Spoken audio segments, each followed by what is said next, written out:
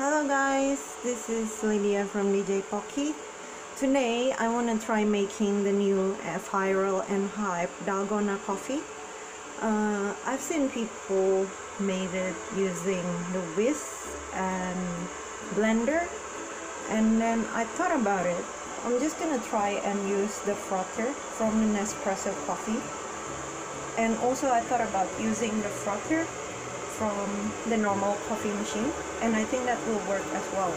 But today we're gonna try using the frother from the Nespresso coffee because it's convenient and I think it should work. Let's check it out. So first you add two spoons of coffee in there and then after that you want to add two spoons of sugar in there. So the ratio is 2 by 2 by 2 2 spoons of coffee. 2 spoons of sugar. And 2 spoons of boiling hot water. So that's the sugar going in there. I want to add a tiny bit more sugar because I like it sweet now we just have to wait until the water finishes boiling. Um, I have to use my underhand to pour the water. So I'm gonna put the phone down for a second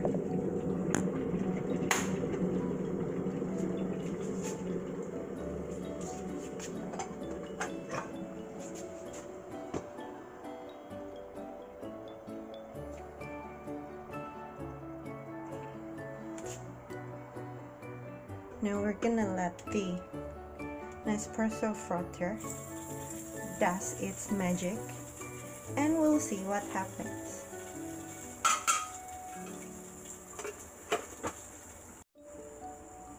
Now while that's still preparing, let's prepare the milk first.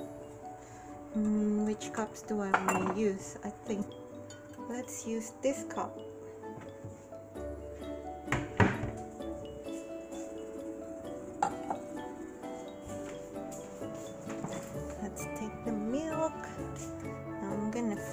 Soy milk because I don't have any normal milk in there and I prefer to drink soy milk.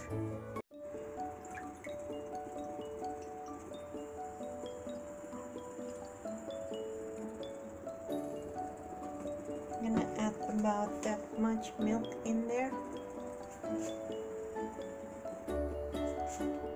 okay guys so I frothed it about like four to five times and this is how it turns out.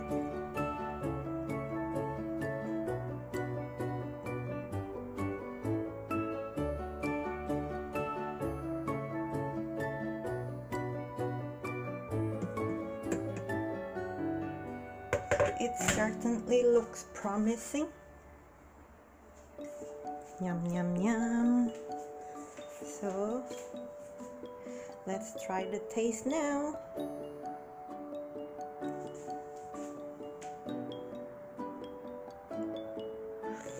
Mmm. mashiso eno yummy. oishi this is successful. Thank you for watching and hope you have a good day. Bye.